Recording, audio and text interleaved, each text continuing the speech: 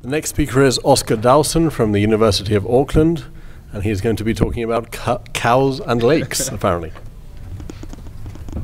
So I hope, I hope uh, most people turned up uh, to know what cows have to do with Julia, and not for the JuMP.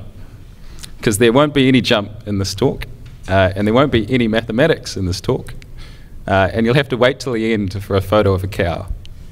So I, am, I am a firm believer in uh, a name is everything. And I was, I was thinking the other day that I wrote, I wrote this, this title down when I submitted the talk, but a better name might be uh, Julia Meets Daisy uh, in the field of multi-stage stochastic optimization.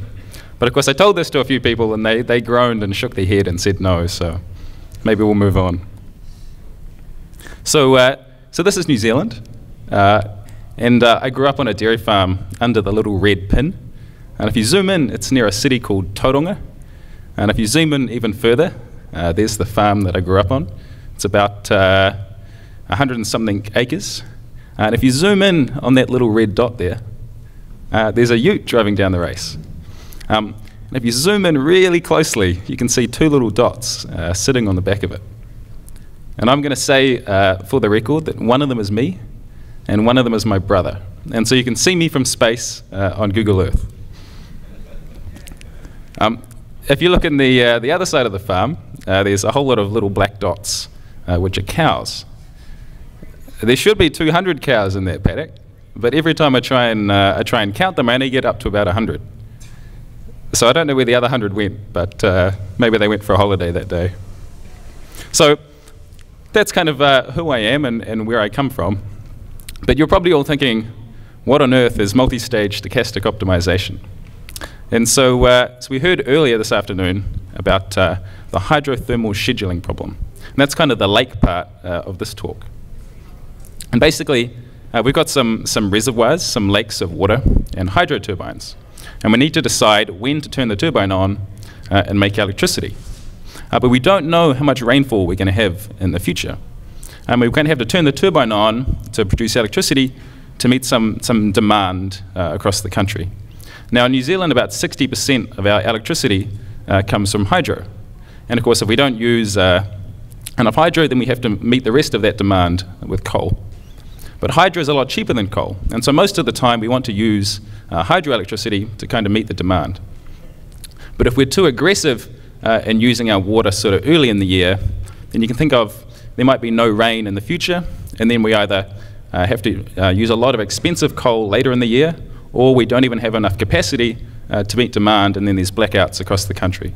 So we're kind of making decisions in time about when to use our hydro turbine to kind of minimize cost when we don't know the future. So that's the, the lake part of the talk. And uh, the cow part of the talk, or uh, moo, the milk output optimizer, took me a while to think of that. So I like to think that, uh, that paddocks are like lakes of grass.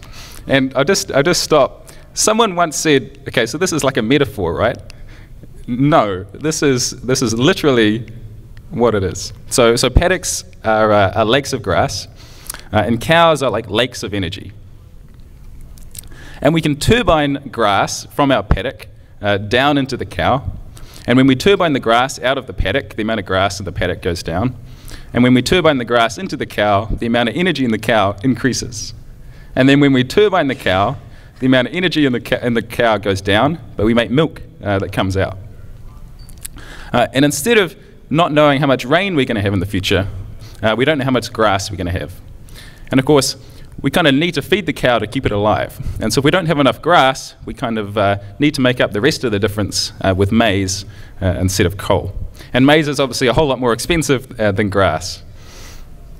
So how do we actually uh, solve this? Well, I guess in, in 10 minutes, there's not really enough time.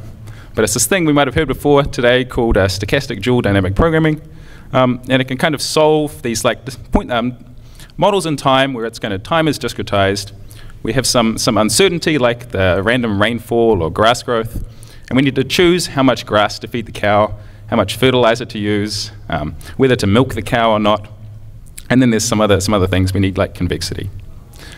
So how was this done in the past? Well, it kind of turned out that everybody had a model like the hydrothermal scheduling problem or, or MOO, and they would go and code a problem-specific implementation of this. And they'd do it in like uh, AMPL, which is really, really slow, or C++, which if you want to make changes, it's really difficult, or Python, which is it's okay, but it's still a little bit too slow. And that seems like a really bad idea. We kind of having to reinvent the wheel every time. And so why not do it in Julia? Well, it, it turns out in the last year, lots of people had the same idea, and uh, lots of people have done it. That's me, but uh, calling it SDDP.jl is a really bad name. It kind of doesn't explain what it is. Um, and so I propose calling it Moa, uh, which is a multi-stage optimization application. And you're probably wondering uh, what Moa is. Um, and basically, it's this extinct bird from New Zealand that is essentially like a three meter tall giant chicken. Um, and so before people came to New Zealand, uh, there were no mammals. And so the birds kind of forgot how to fly. And you can imagine that you're a person that's just come to New Zealand and you're pretty hungry, and there are three meter tall giant chickens walking around that don't know who you are. You rapidly hunt them to extinction.